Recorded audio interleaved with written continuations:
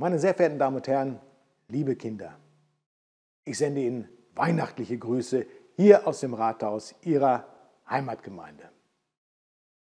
Wenn ich so aus dem Fenster schaue unseres Rathauses, dann sehe ich eine lebendige Gemeinde, eine Gemeinde voller Dynamik, eine Gemeinde, in der viele Menschen aktiv sind, um uns etwas Gutes zu tun, sei es an ihrem Arbeitsplatz, sei es in ihrem Eigenheim oder im Verein, bei ehrenamtlichen Aktivitäten.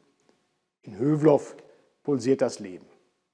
Sie sind bereit, Verantwortung zu übernehmen an den verschiedensten Stellen, um anderen etwas Gutes zu tun. Und genau das macht unser Hövelhof so besonders. Dass es uns nicht egal ist, wie es hier weitergeht, sondern dass wir uns selbst mit einbringen, jeder nach seinen Fähigkeiten, jeder nach seiner eigenen Facette. Und so ist auch im Jahre 2021 wieder sehr viel passiert. Ich denke an das Feuerwerk Rätehaus, was wir jetzt auf den Weg gebracht haben, um unseren fleißigen Feuerwehrkameradinnen und Kameraden ein neues Zuhause zu geben. Denn sie brauchen dies dringender denn je. Sie stehen Tag für Tag bereit, um uns vor den Gefahren zu schützen. So wurde auch das neue Hallenbad auf den Weg gebracht. 95 Prozent haben gesagt, wir brauchen dieses neue Hallenbad. Unsere Kinder sollen weiter hier schwimmen lernen können. Wir brauchen Schulschwimmen, Vereinsschwimmen, Integrationssport und natürlich auch Freizeitgestaltung im Hallenbad, so wie es seit 50 Jahren hier gang und gäbe war. Doch sie haben auch gesagt, nicht die Gemeinde, sondern wir, wir Bürgerinnen und Bürger, bauen dieses Hallenbad für die Gemeinde.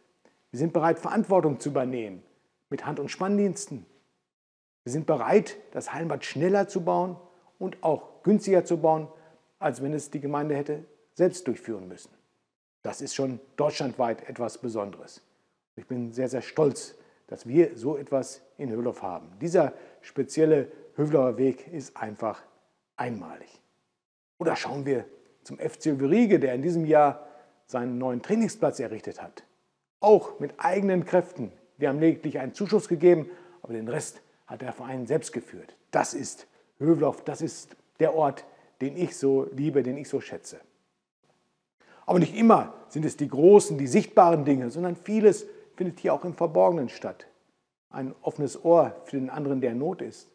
Oder ein Zuspruch für denjenigen, der ihn einfach mal braucht.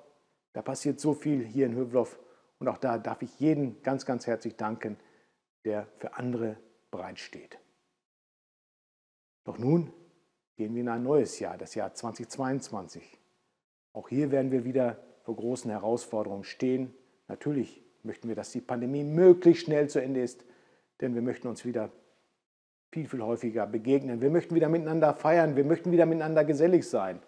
Das vermissen wir doch so sehr.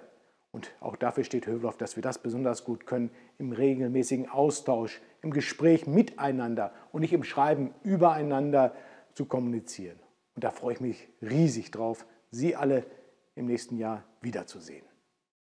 Doch feiern wir jetzt erstmal ein wenig Weihnachten, kommen wir ein wenig zur Ruhe, sind wir dankbar über das, was wir selbstverständlich tagtäglich bekommen, ein warmes Zuhause, ein tägliches Brot, eine angenehme Familienatmosphäre.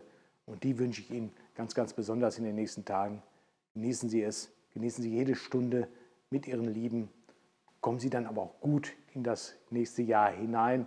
Feiern Sie ein wenig im Rahmen der Möglichkeiten und dann lassen Sie uns gemeinsam durchstarten in das Jahr 2022. Schöne Weihnachten, einen guten Rutsch, alles Gute sendet Ihnen Ihr Bürgermeister Michael Behrens.